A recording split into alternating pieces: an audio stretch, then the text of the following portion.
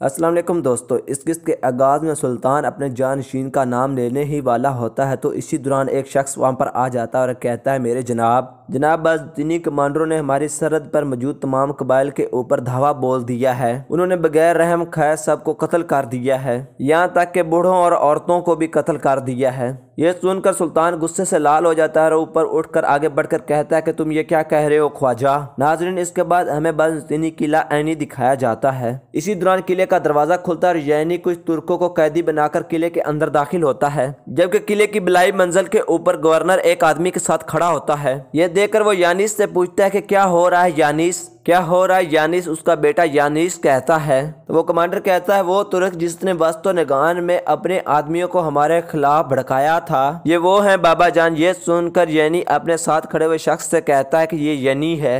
क्या आपको एस्तो कान के गवर्नर की हैसियत से आपको इनको अतात पर मजबूर नहीं करना चाहिए था? जो एबन वेस्तो नकान का गवर्नर कहता है, जैसा कि आप जानते हैं, मुझे एस्तो नकान आया हुआ ज़्यादा वक्त नहीं हुआ, गवर्नर। इससे पहले कि मैं अपनी मुहिम मुकम्मल कर सकता, आपके बेटे ने इर्द गिर्द के तमाम तुर्कों को मार डाला। असल वजह तो ये है कि मैं यहाँ पर आज से मिलने आया हूँ। आप आस्तो निकान के आस पास के तमाम किलों के गवर्नर हैं। इस पर गवर्नर नकौला कहता है वस्तो निकाह जार्जे की तरह नहीं है। जबकि एक तुर्क सिपाही, एक बाजुनतीनी सिपाही को पीछे ज़ोर से धक्का देते हुए, चिल्लाते हुए कहता है, मुझे यहाँ से जाने दो, अगर तुम मेरा सर काटना चाहते हो तो मेरा सर काट दो, हम तुर्क हैं, आपके सामने कभी भी सर नहीं झुकाएँगे। लेकिन बस सिपाही उसको दबोच कर घुटनों के बल कर देता है। ये मंजर देखकर गवर्नर उस आदमी से कहता है कि आपने ये मंजर देखा? तो वो आदमी कहता है, मैंने देखा, मुझे आज से बहुत कुछ सीखना है। जैसा कि मैंने अपने चच्चे लाइब्रेस से सीखा था। फिर गवर्नर अपने बेटे यानीस से पूछता कि, बेटा, तुम इन लोगों को यहाँ पर क्यों लेकर आए हो? यानीस कहता है, बाबा, मैं चाहता था कि ये फैसला आप करें। तो इस पर गवर्नर नेवाला कहता है कि, आप नहीं पहले जानते कि क्या करना है?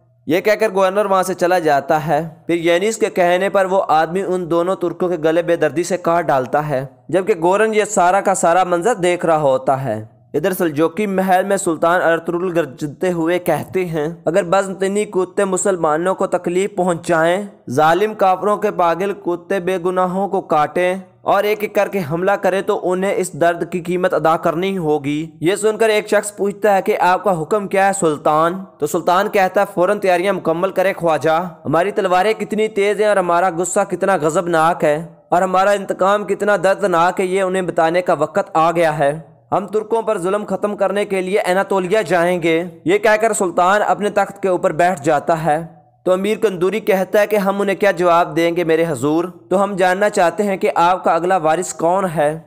तो सुल्तान कहता है कि ये इसका वक्त नहीं है कंतूरी मैं एनातोलिया से वापस आकर अपने जानशीन का ऐलान करूँगा। फिर दूसरा शख्स पूछता है, मेरे सुल्तान, आप किस अमीर को अपने साथ लेकर मुहिम में जाएँगे? तो जवाबन सुल्तान कहता है, मेरे कबीले से जाने वाले बहादुर इंसानों में मूसा यकूब का बेटा हसन, यूसुफ अयान का बेटा अब्बास खियान और चावरी साहब का बेटा अल्परसलान ये सुनकर अमीर कंदूरी का मुँह मुरझा जाता है। इधर चावरी कबीले में नरोज के दिन पर ईद का मौका होता है और सिपाही रक्स कर रहे होते हैं, जबकि चावरी साहब अपने अज़ीज़ वकार के साथ बैठकर एक तरफ़ ये सारा मंजर देख रहे होते हैं। सिपाहियों का रक्स देखकर हर शख्स लुत्फ अंदोज हो रहा होता है।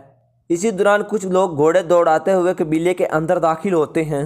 तो एक शख्स बुलंद आवाज़ में कहता है, गजनी के सुल्तान मियाँ दाऊद की खातून और चावरी साहब की बेटी बेगम शाहवार खातून और गवर्नर बोजान ने हमारे कबीले को शर है। इसके साथ ही बगी का दरवाज़ा खुलता है सुल्तान मियाँ दाऊद की बीवी और चावरी साहब की बेटी शाहवार खातून अपने बेटे के साथ बग्गी से बाहर निकलती है। तो दोस्तों, इसी सीन के साथ इस एपिसोड का अख्ताम हो जाता है। अगर दोस्तों, हमारी वीडियो अच्छी लगी है तो इसको लाइक करें, हमारे चैनल को सब्सक्राइब करें। बहुत बहुत शुक्रिया।